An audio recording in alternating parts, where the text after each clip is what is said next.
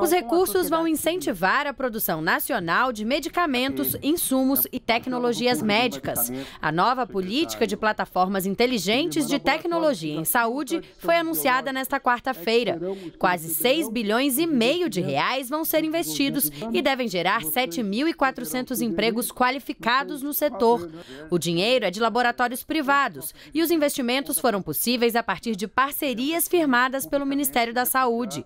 Três novas fábricas de remédios devem ser construídas na Fiocruz, Butantan e Tecpar. Nós estamos buscando parceiros tecnológicos que tenham no seu pipeline outros MABs, outros novos, outro, outros novos, eh, outras novas moléculas que estão ainda para ser lançadas e que possam ter a transferência também para o Brasil. Então nós estamos não só trazendo o produto que já está no mercado, mas outros que virão nessas parcerias. Então é muito bom para o Brasil, o Brasil se tornará um player importante na produção de biológicos mundialmente. As fábricas vão produzir medicamentos biológicos, como remédios usados no tratamento de câncer, soros contra raiva e picadas de animais venenosos e vacinas para gripe, hepatite A e HPV.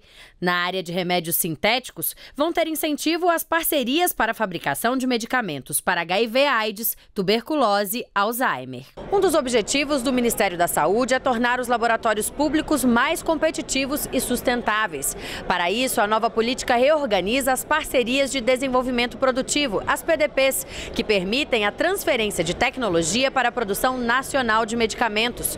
Com as medidas, também serão beneficiados os pacientes com doenças raras e negligenciadas. E assim, a expectativa do governo é aumentar a assistência a essa população e diminuir a busca judicial por medicamentos. Nós poderemos pegar aqueles medicamentos que estão mais judicializados e fazer uma encomenda tecnológica desse medicamento, iniciar a produção no Brasil, acabamos, daí incorporamos no, no SUS e acabamos com a judicialização.